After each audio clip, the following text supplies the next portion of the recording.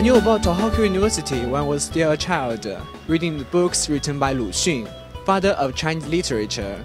And the second time for me to encounter Tohoku University was for Koichi Tanaka, who was awarded the Nobel Prize. I was totally impressed by the professionalism and academic atmosphere of the great university, and I do think it would be my great opportunity and a great honor if I can be accepted by the great university to fulfill my academic dream. Everyone thinks every student is like Einstein in this course. However, uh, all students are from all over the world and they are playing with mathematics and chemistry, physics. They like it. And I think I especially like the spatial engineering trips because we are going to some laboratories and it encourages me a lot because I feel like a scientist. Uh, because my aim to uh, be involved in scientific, crucial scientific researches and inventions. Therefore, I plan to continue my education in worldwide known universities. Tohoku University has the biggest chemistry department in Japan and also third rank in the world ranks for material science.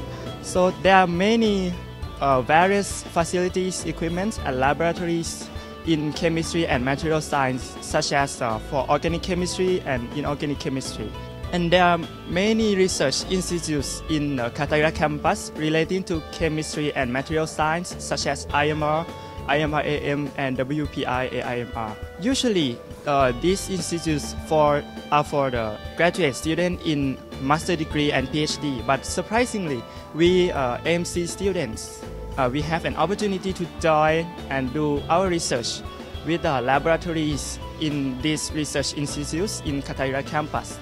Uh, under the Faculty of Agriculture, in this course we mainly focus on uh, biology of agricultural marine organisms and um, ecology of aquatic systems like coastal areas and oceans and rivers and estuaries. So um, I'm first year student and mostly taking the liberal education subjects, which quite diverse. And after the second year, we'll mostly be focusing on you know, laboratory studies, and I would like to more focus on um, ecology laboratories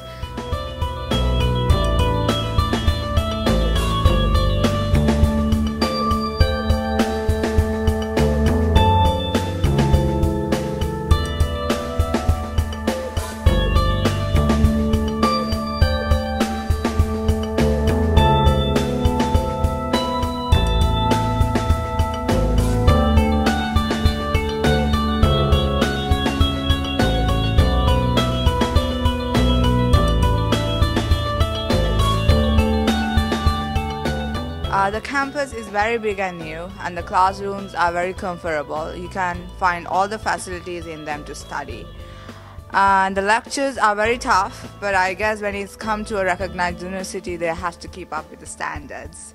Uh, they go from morning till evening every day, but you can always take the campus bus after that to the dormitory. It's very easy that way. And you have a tutor for yourself, so if you need help for anything at all, you can always ask him and get help like and all and the dorm itself is like very clean i have very great unit mates that is willing to help me all the time when i was first time coming in here especially the first few weeks because this is my first time of coming in japan I think the city is not too big yet not too small and the word compact is very suitable to it. On holiday I like to walk along the arcades and looking through the shops and I think Sendai people is very friendly too. One time I was not sure which platform I should go, so I asked a Japanese waiting for a train, and he told me that I has come to the wrong platform. So he led me to the right one, despite that his train is also coming. I was very impressed with him and feel thankful to him.